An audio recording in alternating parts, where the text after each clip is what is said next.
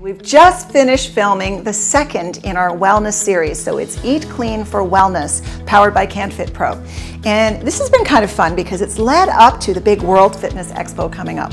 What were we filming today? So much fun. We were talking about how to boost the immune system so we can withstand that terrible disease of cancer. We want to know how to do that. Also, we've been talking about how to age in reverse, and Barbara Klein, myself, and Maureen Hagen are going to do the first ever workshop at the World Fitness Expo. Don't miss it. And we're also going to be talking about how to have better sex. Yep, first time right here with yours truly, the Eat Clean Lady. We're going to have so much fun. I hope you check me out. I'm presenting six times at the World Fitness Expo, the biggest fitness event in all of Canada. Please check us out, check the courses out online, and come say hello to me. I'm looking forward to seeing you there.